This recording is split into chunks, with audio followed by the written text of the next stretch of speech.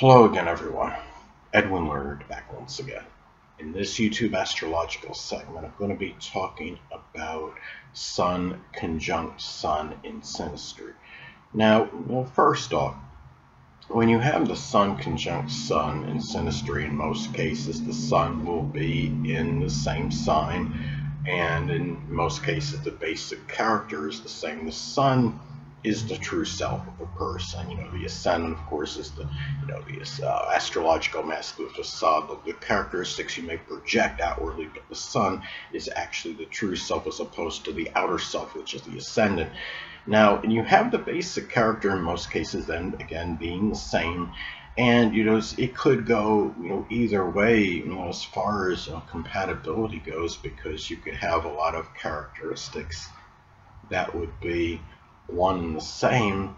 But the thing about it is, I would say, you know, the familiarity breeds contempt.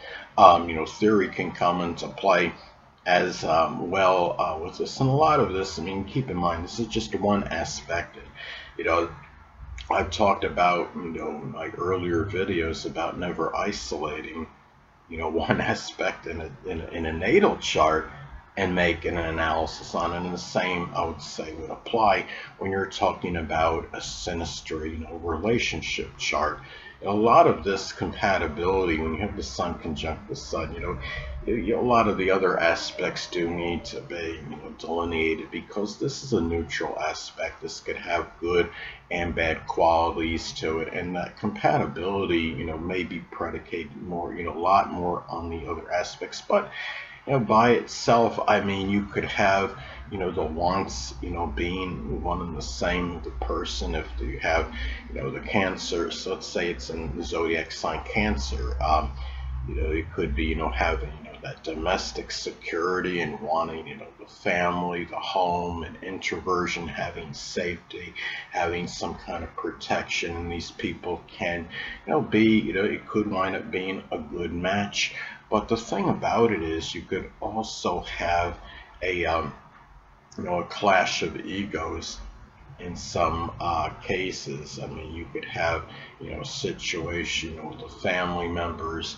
and, you know, trying to strive for, you know, both, both people trying to strive for attention, you know, from others. And, you know this again you know you're talking about you know conjunction again could be neutral. I mean it can have some good in it but remember when you have conjunctions it's also friction related. So you have to you know really consider that when you're looking at synastry you know aspects in general as far as conjunctions go there could be when you have the sun conjunct the sun in synastry it could be intensified focus which is the sun you know, on really on the others, you know, the fundamental, you know, character of the person, which is the sun. And both people may be, you know, really, you know, understanding each other well because again in most cases they will you know the sun conjunct the sun you know you're going to have it in the same sign now in some cases you could have it in different signs um, you know I believe in out of sign aspects. If you have, you know, somebody could have, for example, you know, the sun in Gemini at 29 degrees and the other person could have the sun in Cancer at 3 degrees and that would form an out of um, sign conjunction, you know, synastry um, aspects. So know, it would still, you know, a lot of the, I mean, it still could apply um, because, you know, you're still getting friction between both, um, you know, planets and, you know, in that example. And, you know, let's say, you know, if you have the uh, conjunction aspect, take another example, say if both suns are in Aries, you know, you could really see, you know, you know, one person being similar to you as far as that inner, that true self, and you know, the inner self of both people, you know, can be very aggressive, assertive, abrupt, outspoken, courageous, and combative. Now, the thing about this is, and the lives of people may be comparable because remember, the sun is about life, and you could have, you know, the similarity uh, with that. It could also, if you have this aspect in synastry, it may shine the light, so to speak, you know, on the positive attributes and abilities that each other uh, may have. And the thing about this too is that this is um, each person may spark, you know, that creative, you know, energy of each other because the sun is connected with creative energy. And both people may uh, mutually you know really drive and motivate the other one and it could be toward attaining um, one's you know basic um, you know the basic wants which is connected um, with the sun. And let's say you know, eh, eh, I would say too that each other can readily motivate one another to take action.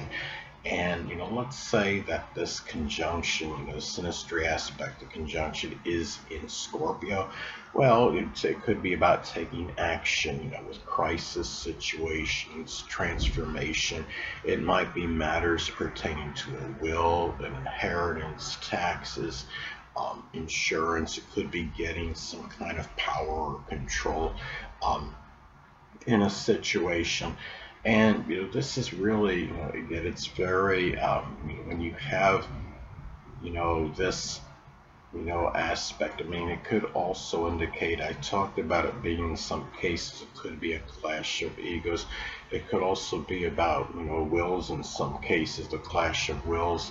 Um, you know, being um, you know, going at going at each other. And but the thing about this is, I mean, if you have a lot of other, you know, you know, like a lot of positive, you know, synastry aspects in, in you know, between the two of you, you know, that would modify things greatly, and it would really, you know, it would show that there would be more, you know, more compatibility as opposed to not. But you know, keep in mind in all you know, practically, I would say just at least just about all synastry charts are going to have you know positive and negative aspects. And there's always things that need to be worked on when you're talking about synastry um, you know between one person and another um, in astrology. And you could have you know um, you know again like the out of sign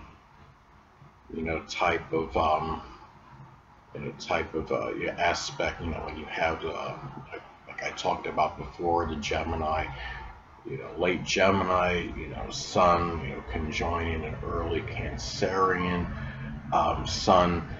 I mean, let's take, you know, another example. Let's say somebody has a late, you know, Sun and Cancer degree. They have the Sun and Cancer at 28 degrees, and the other person has the Leo degree at three degrees. Now you could have, you know, I mean, though you have the conjunction, there may be a little more friction involved because you have two different signs, Cancer and Leo, even though they're adjacent signs, they see things, you know, they're very different in terms, you know, the sun, the basic character, because the sun in Cancer can be very reserved, introverted, very homebound, um, all more about safety and security. And the Leo Sun, the basic character, could be more flamboyant, gregarious, and extroverted. And you could have a little bit more of a clash, I would say, because there would be in, in the different signs, and there's such a strong disparity them. Those, you know, adjacent signs often will not see each other eye to eye because they don't un really understand you know, one another. So that's an example as far as different signs may go. Anyway, people, that'll conclude this YouTube astrological segment. Until next time, Edwin saying stay well.